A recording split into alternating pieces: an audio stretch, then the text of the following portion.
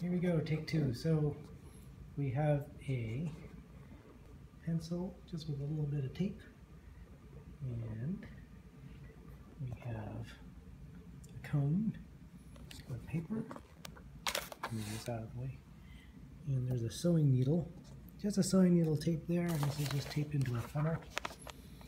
Nothing special. There's a little hole here just to make a pivot.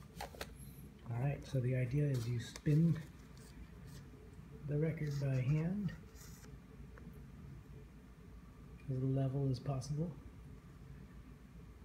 And I'll try to do this with one hand. It's not easy. There we go.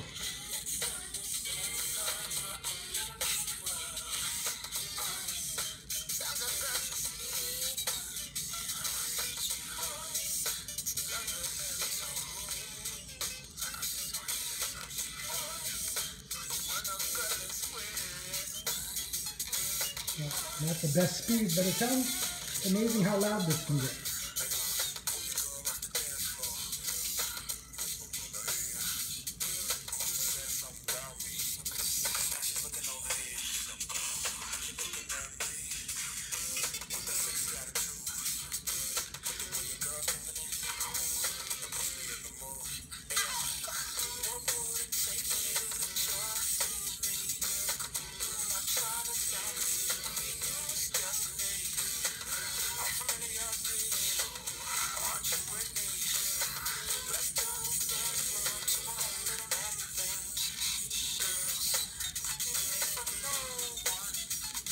Anyway, not bad for a homemade two minute record player.